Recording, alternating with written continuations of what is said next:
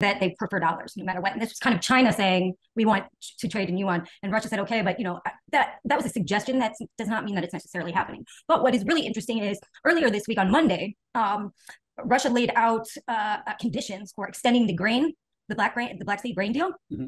right? Because it was uh, it was supposed to be for 90 days, but they cut it to 60 days because they're trying to use that as leverage. And one of the things that they are trying to use as a leverage is they will extend the deal or they'll give, or the other part is they'll give African countries just free grain instead of selling it. But um, one of the big conditions for that was for uh, the removal of some Western sanctions, specifically to get them back on SWIFT.